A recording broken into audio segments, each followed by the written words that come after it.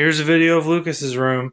Jenn will not allow herself to be on film at all, so you don't get to see her. So here's his tall dresser.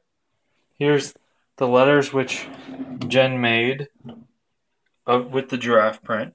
That'll be his name. You can see her feet.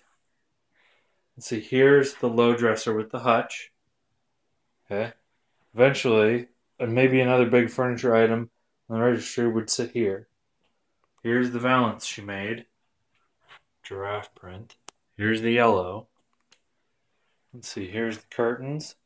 Here's the crib on the highest setting. The Crib mattress. Here's this, which Grandma gave him. Alright. Here's the giraffe. Let's go way up around, and there's Jenn's face. Hi. Hi. Hey, Jenn. What's going on with you? Nothing? Nothing. You sure? Yeah. Can I mm. bring the camera lower? Nope. Nope. Not permitted. So there's still instructions and stuff in here. But you know, it's be a good set of furniture for that guy. So let's see. So that we can walk out. We'll walk right past. Not allowed to get the tummy in. Where's that Rigel? Hey man. What's going on, man? What do you think? What do you think? Well, bye. All right, you want to say goodbye, mommy? Bye.